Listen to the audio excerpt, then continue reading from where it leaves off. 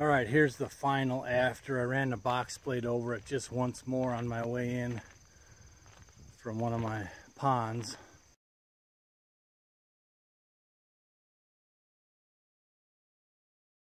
Hey guys, Mike here with Kapper Outdoors.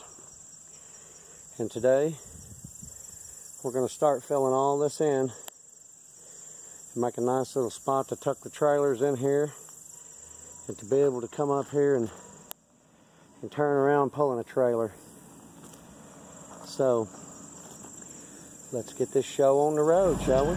Here we go, getting our first loads.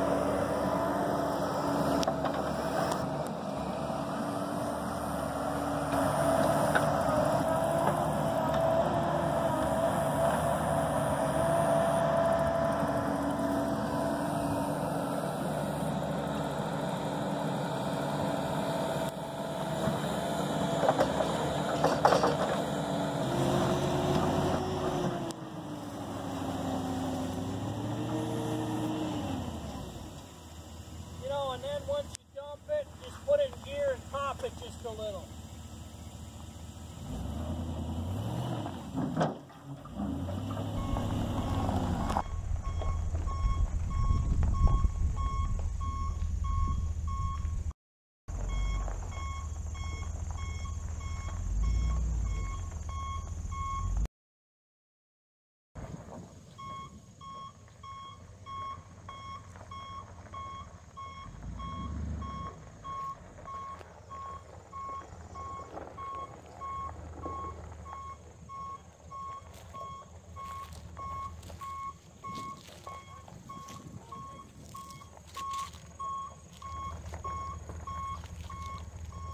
Mike's filling in the gaps.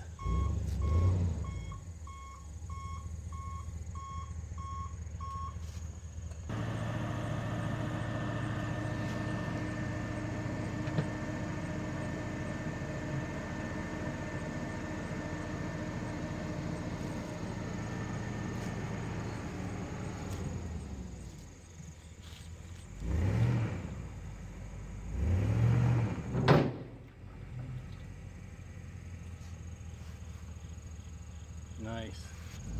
Well, we got a really nice start here. Whatever we got, six or seven loads. This pitch just from the gravel over to the end of the dirt is probably a three foot down pitch already just in this short space. So we're already making progress. This way. That's, that's good enough.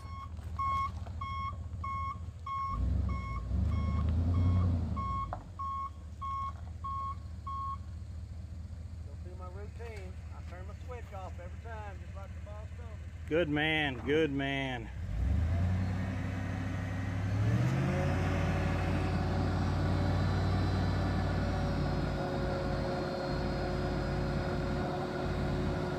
Look at that bent frame under there. I mean, that was like that. I wonder what that was from.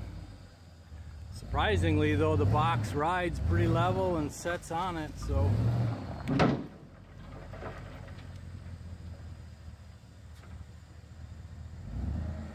Rock and roll. All right, now we got some dirt to mess with here.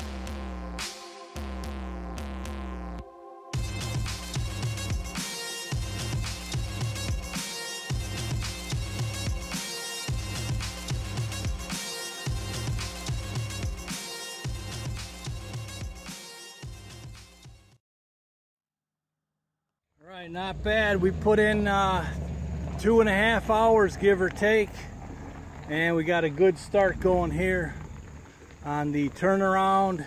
We got a good start. Uh, need some more loads for the trailer backup, and we decided I'm gonna extend that pipe over there and make a really nice turnaround. All right, here's the final after. I ran the box blade over it just once more on my way in from one of my ponds. So that's after the first uh, two, two and a half hours. Got a real good start. We'll keep picking away at it.